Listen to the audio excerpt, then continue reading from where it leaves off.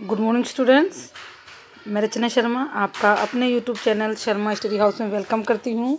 बच्चों, आज हम सेवन्थ क्लास की इंग्लिश की वर्कशीट नंबर थर्टीन सॉल्व करने वाले हैं, जो नौ नवंबर 2020 की वर्कशीट है, जैसे बच्चे आप सबको पता है, आपको यहाँ पे अपना नाम लिखना है और यहाँ अपने क्लास टीचर का नाम लिखना है। देखिए, आज जो वर्कशीट है, आपको इसमें तीन पिक्चर दिखाई दे रही हैं, बच्चे एंजॉय कर रहे हैं। और आपको क्या दिख रहा है, आपको इसमें क्या कर रहे हैं बच्चे? तो हमें यही बताना है। पहले क्वेश्चन में देखिए। The given picture depict which day जो ये पिक्चर है, नीचे दी गई है ये और ये। ये सब, ये किस किस डे को डिपिक्ट कर रही हैं? तो आप यहाँ पर क्या लिखेंगे आंसर में? रेनी डे रेनी डे समझते हैं? बारिश वाला दिन। आपको दिख रहा है ना, बारिश हो रही बच्चे एंजॉय कर रहे हैं। This picture depict rainy day the kids are getting wet and enjoy the rain जो पिक्चर है डिपिक्ट कर रही है रेनी डे को और बच्चे गीले हो रहे हैं और एन्जॉय कर रहे हैं बारिश में। Why do you like rainy season तुम्हें रेनी सीज़न क्यों पसंद है? I like rainy season because मुझे रेनी सीज़न इसलिए पसंद है। अब आपको नीचे जो ऑप्शन दिए गए उनमें से एक चूज़ करना है। देखिए क्या क्या है इसमें। It is fun play in the rain इससे इसमें मतलब बारिश में खेलने मज़ा आता है आपको। वी मेक पेपर बोट हम पेपर बोट बनाते हैं और अम्ब्रेला प्ले विद अम्ब्रेला और अम्ब्रेला से खेलते हैं। It comes after long period of for summer ये गर्म, बहुत लंबे गर्मियों के सीज़न के बाद आती है। पहले गर्मी का मौसम चलता है बहुत समय तक, उसके बाद ही आती है, इसलिए हमें पसंद है। इट मेक एनवायरमेंट कूलर ये एनवायरमेंट को, पर्यावरण को ठंडा बनाती है।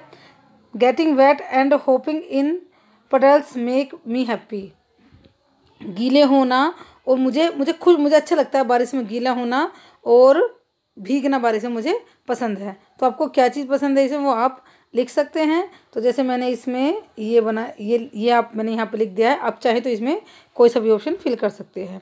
क्वेश्चन नंबर थ्री में देखिए complete the given paragraph on rainy day rainy season by using the hint given below आपको ऊपर हिंट दिए गए हैं ये वाले। और आपको नीचे वाला पैराग्राफ आपको फिल करना है और आपका पैराग्राफ का नाम है आज आज रेनी डे या रेनी सीज़न बच्चों, आपके एग्ज़ाम में आता है रेनी डे या रेनी सीज़न से पैराग्राफ आते हैं, आता है आपको कोई तो आप ये पैराग्राफ छोटा सा पैराग्राफ इसको लर्न कर लेंगे और उसे लिख लेंगे। तो सब, आओ चलो पहले से फिल कर लेते हैं। द रेनी सबसे पहले क्या आएगा? Season S E A S O N rainy season और monsoon season start after the hot hot summer. जो रेनी सीज़न है, वो ओ या मानसून का सीज़न बारिश का मौसम या मानसून का सीज़न बोलते हैं इसको, ये स्टार्ट होता है गर्म, गर्मियों के बाद। It comes in months of July. ये कब आता है, कौन से महीने में? जुलाई, अगस्त और सितंबर के महीने में ये आता है। It bring, it brings from summer heat. क्या करता है ये? रिलीफ। It bring relief. ये आराम देता हमें। ये जो गर्मी पड़ती है उस समय से आराम मिलता है। जब ये आता है, cool winds from the sea, ठंडी हवाएँ जो समुद्र से आती हैं, ब्रिंग रेन क्लाउड। यहाँ पर क्या आएगा? ब्रिंग। देखिए यहाँ पर आएगा ये वाला, bring. B R I N G bring rain clouds. We use क्या करते हैं हम? क्या यूज़ क्या करते हैं हम? रेन कोट हमने लिख दिया यहाँ पर वी यूज़ हम प्रयोग करते हैं rain C O A T rain coat and umbrellas हम रेन कोट और अम्ब्रेला यूज़ करते हैं to protect our self from the rain हम बारिश से बचने के लिए रेन कोट अम्ब्रेला का यूज़ करते हैं, छाते का यूज़ करते हैं।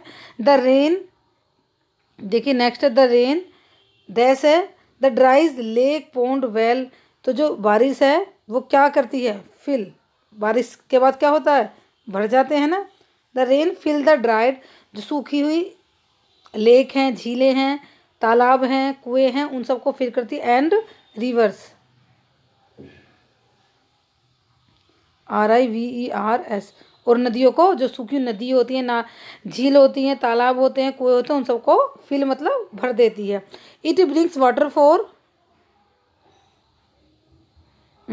crop ये क्या करती है? फ़सलों के लिए भी क्या करती है? पानी लाती है। अब नेक्स्ट देखेंगे। द डैश है। द के बाद the and plants look green and देखिए द ट्री यहाँ पे क्या आएगा? हमारा ट्री बच रहा है ना? ये रहा tree the tree and plants पेड़ पौधे कैसे दिखते हैं? लुक ग्रीन एंड फ्रेश ताज़े दिखते हैं बारिश के बाद। आपने देखा होगा ना? आफ्टर रेन बारिश के बाद जो पौधे हैं पेड़ पौधे हैं, वो ताज़े और कैसे दिखते हैं? हरे दिखते हैं। I play with paper boards मैं पेपर बोर्ड से खेलती हूँ, या खेलता हूँ उन रेनी डे रेनी डेज़ में। I like rainy season a lot मुझे बारिश का मौसम बहुत ही पसंद है। तो बच्चों, हमने जो ऊपर जो दिए गए थे, हमने इसको फिल कर लिया है। तो आपका पूरा ये एक पैराग्राफ बन जाता है, जो आपके एग्ज़ाम में आपको बताया था मैंने, आपके एग्ज़ाम में भी आता है। तो बच्चों, आप इसको कंप्लीट कर लेंगे और उसको लर्न भी कर लेंगे। तो बच्चों, आपको आज की वर्कशीट पसंद आई? पसंद आई हो तो वीडियो को लाइक कर देना और चैनल को सब्सक्राइब करना ना भूलें।